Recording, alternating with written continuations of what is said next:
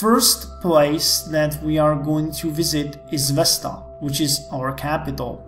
If you look at the mining and maintenance, we have a decent stockpile of resources there, about 12,500 tons of various resources.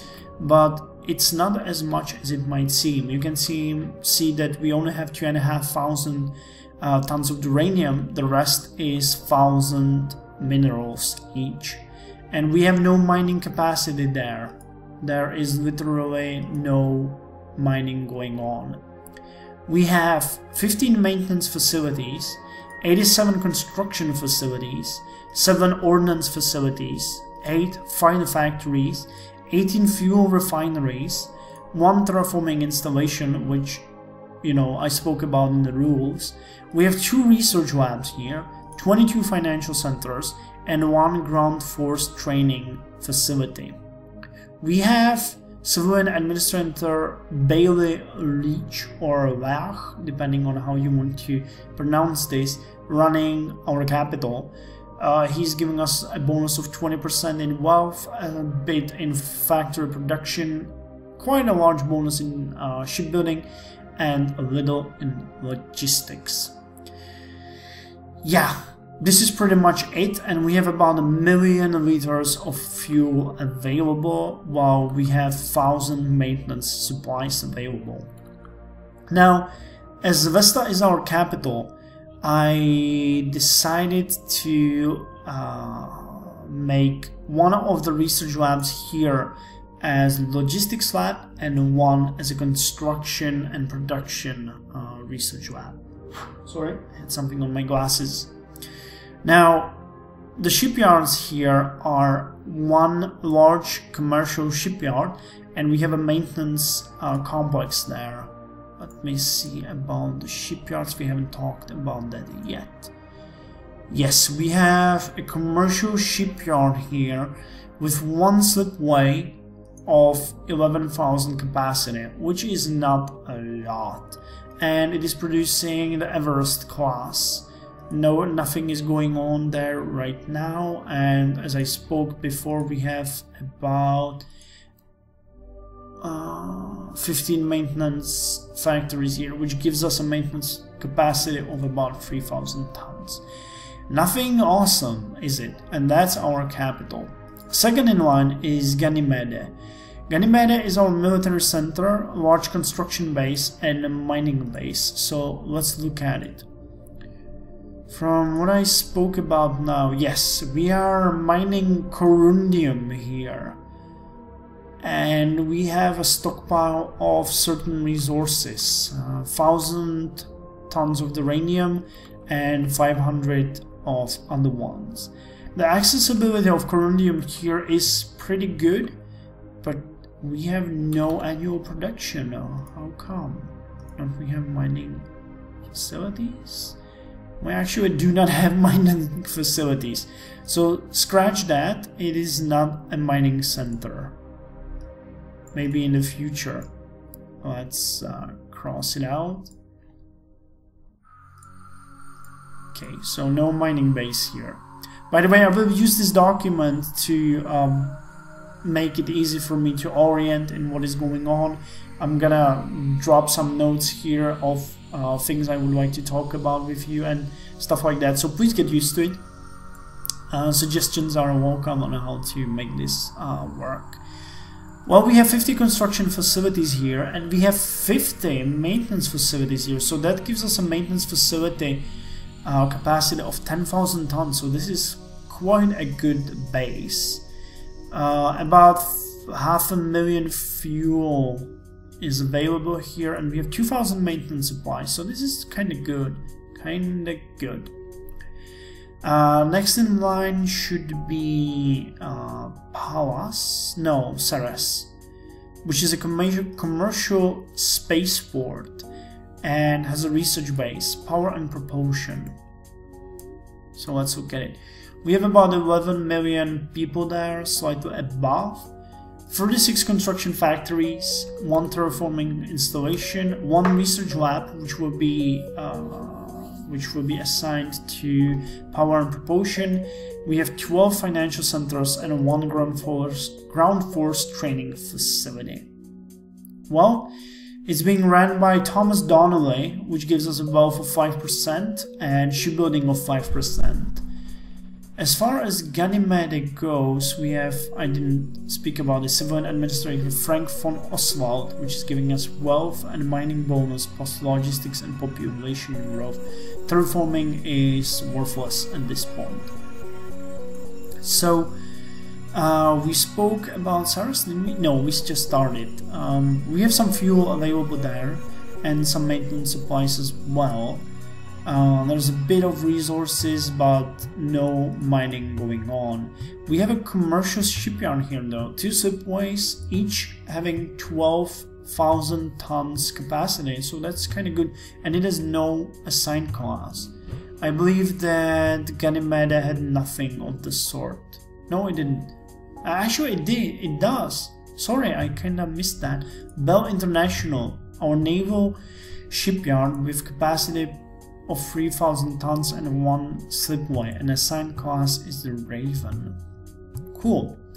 So next in line is Pallas, which has no commander assigned, has 34 construction facilities, 4 fighter factories, 3 fuel refineries, and 12 financial centers have 150,000 fuel and 150 maintenance supplies available. It has a military academy though, which is kind of good, and a commercial spaceport. I think I haven't spoken about that. Yes, just commercial spaceport here. Oh, we have, I forgot about this, we have a military academy at Ganymede. And yeah, mass drivers, nothing important there, and nothing important here either. So Pallas at this point will serve as a small commerce port and a construction base for us. It pretty much has fuel refineries and financial centers for us, so that is kinda interesting, kinda interesting. Next in line is Aurora, which is a fighter base and a commerce port, and I have so many typos here. Boy. Uh, there's no research, no shipyard, and serves as a fighter base. So, where was I? Yes, Aurora. So Aurora is being ran by Dalkin Silveraxe, who is a civilian administrator, uh, giving us a bonus of wealth creation 5%. We have 27 construction factories here, 5 fighter factories, 1 terraforming installation and 22 financial centers. Yeah, the financial centers will prove useful, but otherwise I think that this is going to be just uh, maybe a place where we build our fighters and maybe some uh, decent construction, who knows. We have a very small stockpile of resources, no mining going on, and you can see that we're already building some uh, some stuff. I will actually go about the industry later on because these are things that we should uh, adhere to already.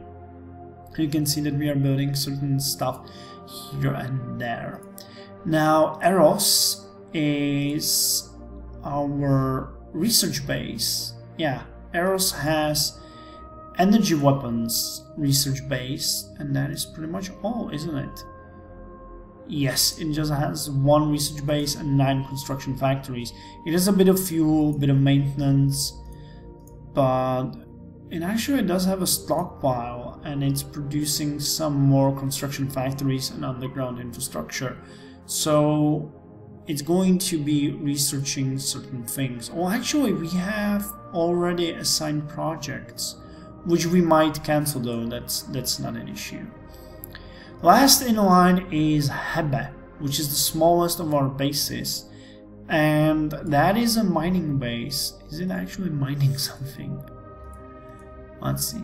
Yeah, it is. It is mining the rhenium with an annual production of 122 tons that that is pretty awful it's mining vendarite and mining uridium Pretty cool, but then without neutronium, corbomite, tritanium, boronide, and mercassium.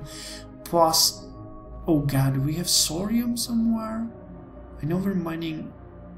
We're not mining corundium, are we? Yep, we have no sorium available. Jesus Christ, that is awful. No sorium means no fuel production, so uh, which one had those fuel refineries? Uh, yeah, Vesta. So after we burn this thousand tons of sorium, we are screwed. So first project to should be to somehow, anyhow, make the fuel refineries work. God damn. Well, we have 11 mines, but we have a worker shortage on Hebe. Uh, we don't have a worker shortage on Eros, so we might take the people from there. We have a huge worker shortage on Aurora, a worker shortage on Pallas, available workers on Ceres, so we might take these guys to other locations. We have almost 2 million worker shortage on Ganymede and we have 160,000 people shortage on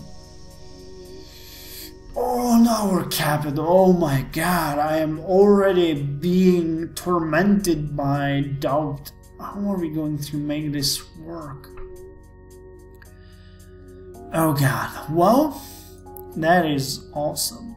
Well, we have a couple of deep space tracking stations as well. We have one on Juno, one on Zevinda, one on Hua, and one on Bienor.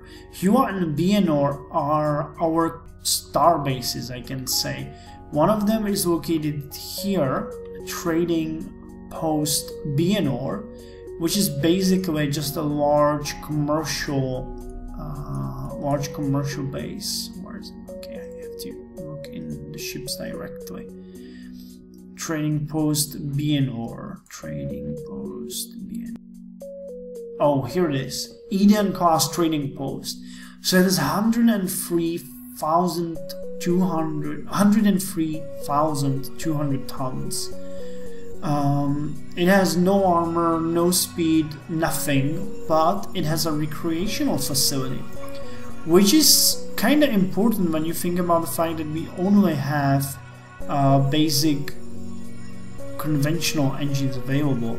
So if we want to go from, for example, Bienor to this is Jupiter, it's about 1.7 billion kilometers. And think about it this way, we will be going at about 80 to 90 kilometers per hour. Uh, per second sorry 70 kilometers per second. So that is pretty pretty ugly. Okay that covers our uh, basis now I think that we could move to our ships